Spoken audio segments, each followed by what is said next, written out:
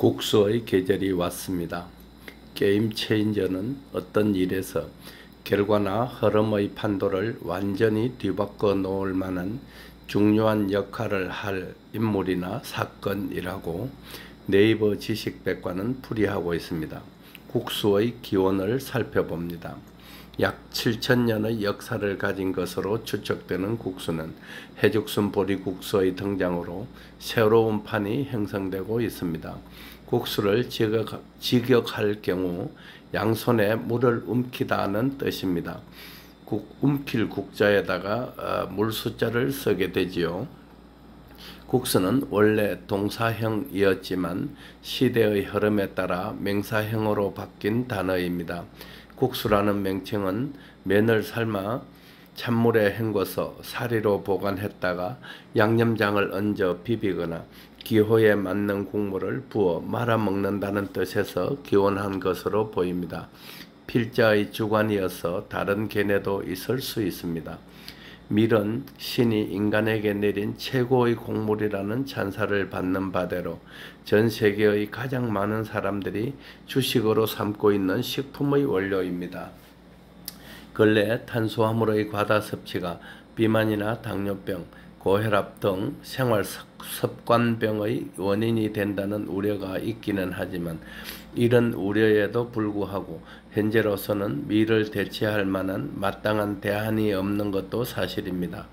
밀은 기원전 15,000년에서 만년경부터 서아시아 메소포타미아 지역에서부터 인류가 재배를 시작했다고 전해집니다. 그 밀이 실크로드를 따라 지금은 중국령이 된 신장 위구르 지역으로 전해졌고 그 후 중국 본토를 거쳐 기원전 2세기쯤에 우리나라에까지 들어오게 된 것으로 추측합니다. 밀의 전래와 함께 국수의 문화도 함께 이동한 것으로 보입니다. 국수는 밀이 주 원료입니다. 메밀이나 쌀, 녹두, 고구마, 감자 등 다른 작물도 국수의 원료로 사용할 수 있지만 아직은 밀을 대체할 만한 마땅한 대체제로 보기에는 무리가 있어 보입니다.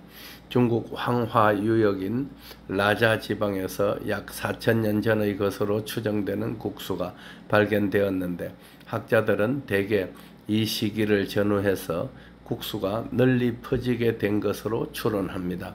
당시에는 밀을 곱게 가루내어 반죽한 후 반죽을 손으로 비벼서 길게 국수로 만들었던 것으로 보, 보여집니다. 우리나라에서 국수의 역사는 고려시대 때 기록이 남아 있는데 당시에는 밀이 귀해서 잔치나 국가의 중요 행사 때나 구경할 수 있는 음식이었다고 합니다.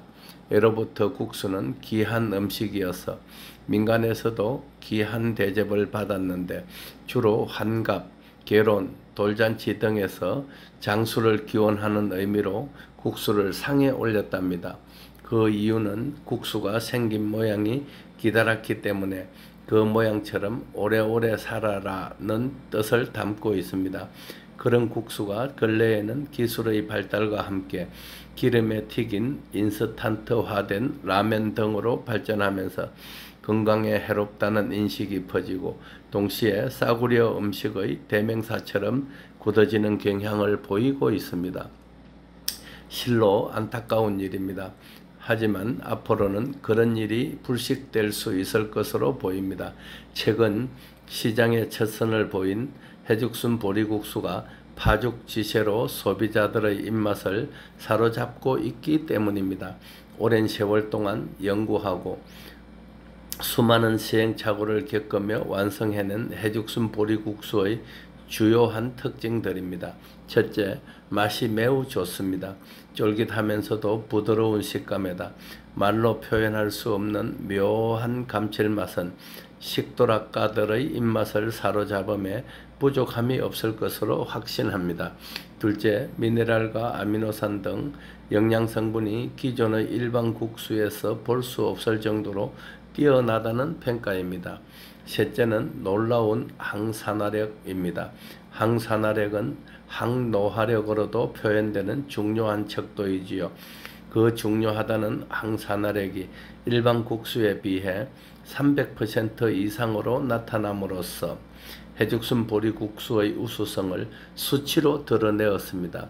넷째, 보통 면 요리를 드시는 분들께서 염려하시는 것 중의 하나가 드신 후 속이 불편하다는 점이었는데 해죽순 보리국수는 드시더라도 속이 편안합니다.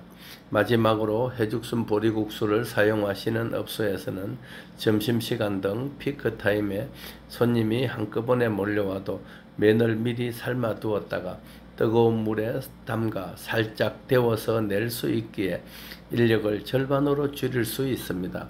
이런 여러 가지 장점 외에도 해죽순 보리국수는 한 번 드신 분들이 계속 찾아오기에 금방 단골이 늘어나는 효과도 무시할 수 없습니다.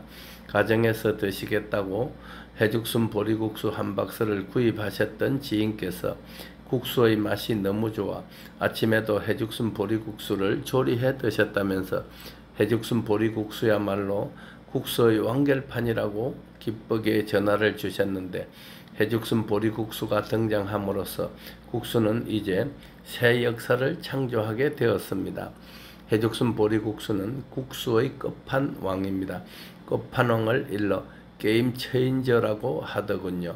해죽순 보리국수는 국수의 역사를 바꿔놓을 끝판왕이자 게임 체인저가 될 것임을 믿어 의심치 않습니다. 6월 하순의 일요일 새벽도 황금손이 먼저 깨우겠습니다. 감사합니다. 다대열의 세상 만사 구독과 좋아요를 눌러주시면 황금소는 큰 힘을 얻습니다.